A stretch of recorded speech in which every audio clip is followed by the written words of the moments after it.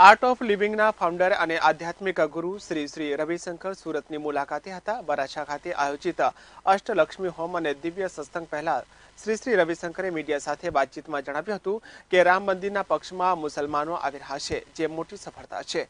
રામનવમી સુધી મંદિર અંગે નિર્ણય આવી જશે એવી આશા વ્યક્ત કરી હતી. રામ મંદિર અંગે પ્રયાસ સતત ચાલુ છે. લોકોને મનાવવામાં આવી રહ્યા છે. હિન્દુ જ નહીં, અન્ય ધર્મના લોકો પણ રામ મંદિરના પક્ષમાં છે. મુસ્લિમ સમાજના લોકો પણ ઈચ્છે છે કે રામ મંદિર બને. એ અમારી અંતે સફળતા છે. લોકોમાં જાગૃતિ લાવવી જરૂરી છે. રામ મંદિર બનશે કે નહીં, આવી વાતોને લઈ જે નિરાશા છે તે દૂર કરવાની જરૂરિયાત છે. તેઓએ જણાવ્યું હતું કે અમારો સ્વભાવ લોકોને જોડવાનો છે. કોર્ટના નિર્ણયની રાહ જુઓ. સમાધાન અને અધ્યાદેશ આવા ત્રણ વિકલ્પ અમારી પાસે છે. દેશની માનસિકતા બની ગઈ છે. મંદિર બને. હાલ ખેડૂતોએ મોટી રેલી કાઢી સરકાર સામે. રામ મંદિર કરતા પોતાની સમસ્યાને વધુ મોટો ગણાવ્યો છે.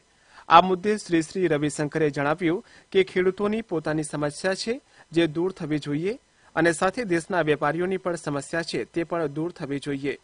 યુપીના મુખ્ય પ્રધાન આદિત્ય યોગીનાથે હનુમાનને દલિત ગણાવ્યા હતા. જેના સંદર્ભે તેઓએ જણાવ્યું કે ઋષિ અને નદીની જ્ઞાતિ પૂછવી ન જોઈએ. શું રામનવમી અગાઉ રામ મંદિર પર નિર્ણય આવી જશે? આ પ્રશ્નના ઉત્તરમાં તેઓએ જણાવ્યું હતું કે અમે પ્રયાસ કરી રહ્યા છીએ અને આશા છે કે કોઈ નિર્ણય આવશે. કેમેરામેન નિખિલ વકાણી સાથે DBS Parmar, live Gujarat news, Surat.